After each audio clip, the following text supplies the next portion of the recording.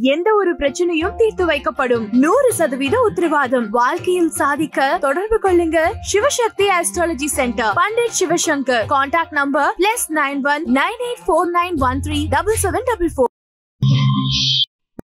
இலங்கையில் மேலும் சில பகுதிகளுக்கு லாக்டவுன் கிழக்கை கைப்பற்றிய புதிய நகர்வு அச்சத்தில் ராஜபக்ஷ அரசு.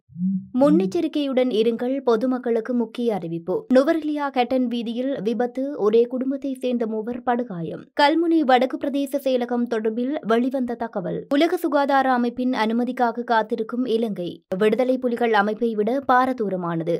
பகிரங்கமாக கூறினார் ஜெயந்த சமரவீர. தமிழகத்தில் ஆட்சி யார் வசம் வாக்கு எண்ணும் பணிகள் ஆரம்பம். சீன அதிபருடன் பைடன் பேச்சு. மோதலை தவிர்க்க தீர்மானம்.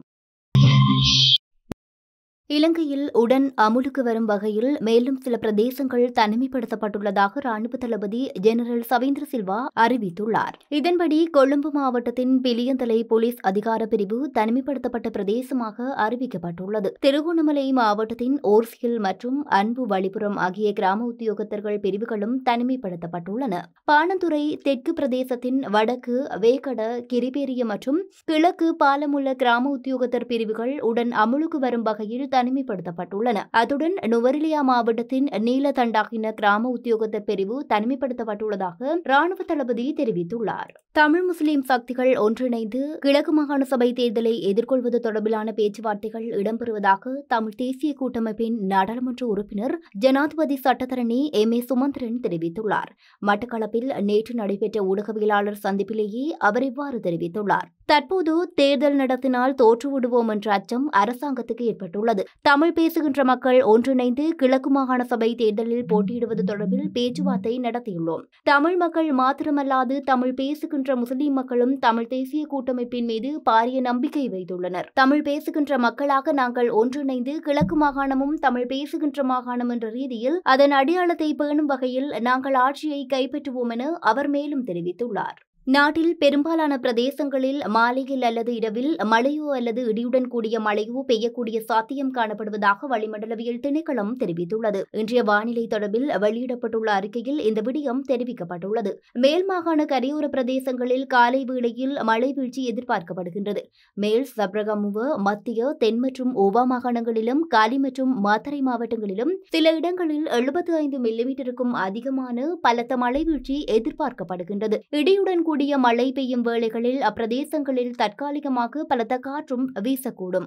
மின்னல் தாக்கங்களினால் ஏற்படக்கூடிய பாதிப்புகளை குறைத்துக் கொள்ள பொதுமக்கள் தேவையான முன்னெச்சரிக்கை நடவடிக்கைகளை எடுத்துக் கொள்ளுமாறு குறித்த அறிக்கையில் மேலும் தெரிவிக்கப்பட்டுள்ளது. நுவரெலியா ஹட்டன் பிரதான வீதியில் நேற்றிரவு இடம்பெற்ற வாகன விபத்தில் ஒரே குடும்பத்தை சேர்ந்த மூவர் பலத்த காயங்களுக்கு உள்ளாகியுள்ளதாக போலீசார் தெரிவித்துள்ளனர். தலவாக்கலை பகுதியிலிருந்து ஹட்டன் நோக்கி சென்ற வேன் ஒன்று கொட்டக்கலை பகுதியிலிருந்து கொமர்ஷியல் பகுதியை நோக்கி சென்ற முச்சக்கர வண்டியுடன் மோதியே விபத்து சம்பவித்துள்ளது. வேன் முச்சக்கர வண்டியுடன் மோதிய பின்பு முச்சக்கர வண்டியை வீதியை விட்டு அருகிலிருந்த கற்பாறையுடன் மோதி பலத்த சேதத்திற்கு உள்ளாகியுள்ளது. முச்சக்கர வண்டியில் பயணித்த தாய் தந்தை மற்றும் மகன் ஆகியோர் காயமடைந்து சிகிச்சைகளுக்காக டிக்கோயா கிடங்கன் வைத்தியசாலையில் அனுமதிக்கப்பட்டுள்ளனர். வேன் சாரதி திம்புள்ள பத்தனை போலீசாரால் கைது செய்யப்பட்டு போலீஸ் நிலையத்துக்கு தடுத்து வைக்கப்பட்டுள்ளார். இவ்விபத்து தொடர்பிலான மேலதிக விசாரணைகளை திம்புள்ள பத்தனை போக்குவரத்து போலீசார் மேற்கொண்டு வருகின்றனர். கல்முனை வடக்கு பிரதேச செயலகம் சம்பந்தமாக பல ஆணைக்குழுவில் சாட்சியம் வழங்கினேன் ஆனால் எதுவும் நடக்கவில்லை. முஸ்லிம் அரசியல்வாதிகள் இந்த தரமுயர்வை விரும்பாது தடுத்து வருகின்றனர் என அரசாங்க பொது ஊழியர் சங்க தலைவர் எஸ். லோகநாதன் தெரிவித்திருந்தார். மே தினத்தை முன்னிட்டு கல்முனை புலவி பிள்ளையார் ஆலயத்தில் நடைபெற்ற விசேட பூஜையை தொடர்ந்து நடைபெற்ற ஊடகவியலாளர் சந்திப்பில் பேசிய போதே அவர் இவ்வாறு தெரிவித்திருந்தார். கல்முனை ஆதார வைத்தியசாலையை தேசிய வைத்தியசாலையாக தரமுயர்த்தி கோரி இரண்டரை தசாப்தங்களாக போராடி வருகின்றோம். இதை அரசு விசேட கவனம் எடுத்து அமுல்படுத்த முன்வர வேண்டும் என்பதுடன் வடக்கின் ஒட்டிசுட்டான் கண்டாவளி ஆகிய பிரதேசங்களுக்கு புதிய உள்ளூராட்சி சபையை உருவாக்க வேண்டும்.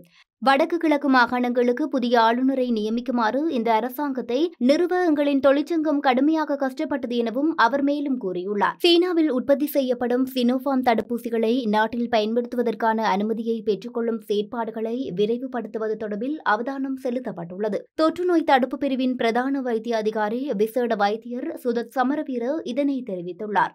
சீனாவில் அன்பளிப்பு செய்யப்பட்ட ஆறு லட்சம் தடுப்பூசிகள் கைவசம் இருக்கின்றது. அந்த தடுப்பூசிகளை மூன்று லட்சம் பேருக்கு செலுத்த முடியும். எவ்வாறு இருப்பினும் குறித்த தடுப்பூசி உலக சுகாதார அமைப்பின் அனுமதி கிடைக்க வேண்டும் என அவர் மேலும் தெரிவித்துள்ளார். இதேவேளை இந்தியாவின் புனேயில் சீரம் நிறுவனத்தினால் தயாரிக்கப்படும் ஆக்ஸ்போர்ட் அஸ்ட்ராசெனகா தடுப்பூசிகளின் இரண்டாம் கட்ட செலுத்தை அண்மையில் ஆரம்பமானது. எவ்வாறாயினும் முதல் தடுப்பூசிகளை செலுத்திக் கொண்ட அனைவரையும் உள்ளடக்கும் வகையில் சுகாதார தரப்பிடம் தடுப்பூசிகள் இல்லை என தெரிவிக்கப்பட்டுள்ளது.